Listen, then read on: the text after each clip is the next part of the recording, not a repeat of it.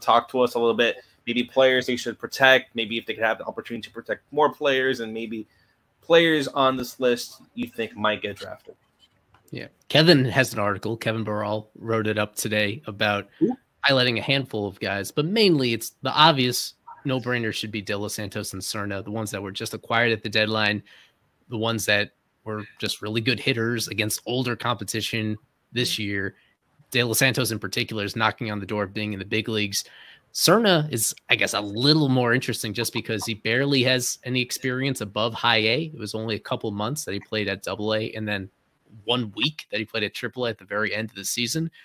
Still somebody that is one of the better prospects in this organization. And you'd think somewhat of a no brainer to protect, especially because, as I showed before, they do have two open spots right now. They could select right. two guys without making any corresponding moves at all.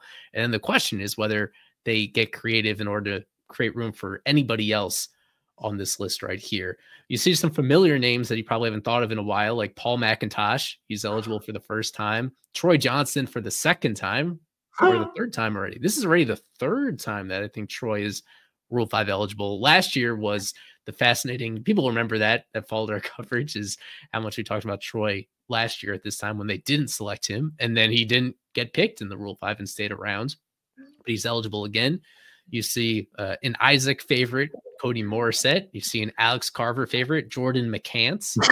Those guys are eligible for the first time, but ones that just frankly haven't performed the way that they were expected to as early round draft picks if you go all the way to the bottom of this group that I cut off right here, you see Dax Fulton, and he is me the biggest wild card here. He himself was a very early draft pick back in 2020. We haven't seen him on the field for almost two years, coming off another Tommy John surgery, his second career Tommy John. Before that, he was one of the best prospects in this whole organization. He just had a lot of promising starter traits, and he performed well at the double A level when he was still at the time maybe 21 years old at the end of that, right before that second surgery that he had right there. The upside is fascinating. Realistically, he's probably not going to help you win games at the major league level. And ultimately, that's what I kind of want to hammer home here is the line that these teams are walking, where you want to acquire good prospects that are unprotected, but these guys also need to stick on your major league roster for the entire season, either on the active roster or they can spend part of that on the IL, but you cannot send them down to the minors for that whole full first year unless you pass them through waivers and unless they basically lose all their value anyway. It's a fascinating dance that they have to walk here with somebody like Dax, just because it, it's a long shot that he's going to help you win games right now, but the upside is pretty good if he's healthy.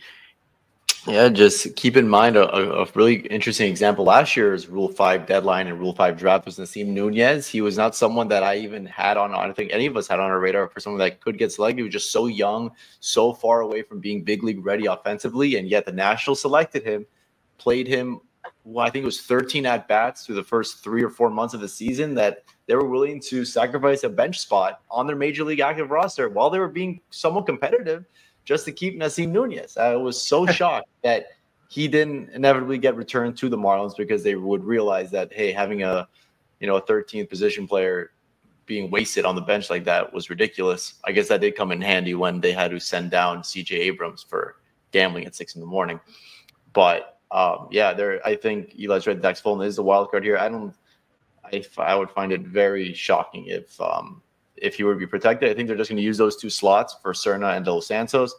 Who was the fourth guy that the great Kevin mentioned in his article? It was um, he mentioned Zach McCambley.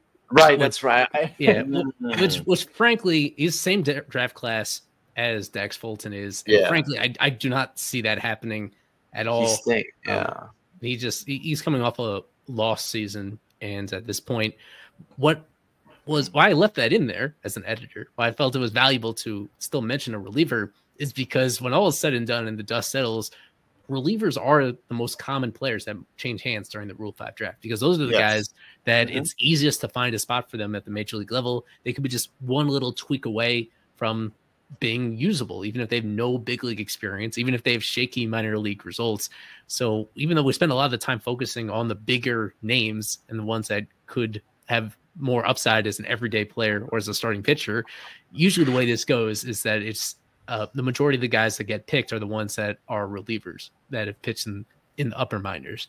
So that's there are a lot of relievers on this list. Basically, all those names in the bottom half, various relievers, some with injury histories, some that just have not performed very well that you probably haven't thought of that we don't consider anywhere near the top prospects in this organization. But yet, those are the guys at the end of the day that could get picked if there's another team that sees something mm-hmm. in their stuff that they think is legit.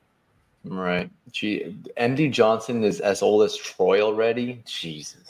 Oh, I, I can't wait to hear that he's a stud when he's carving up double A hitters next year.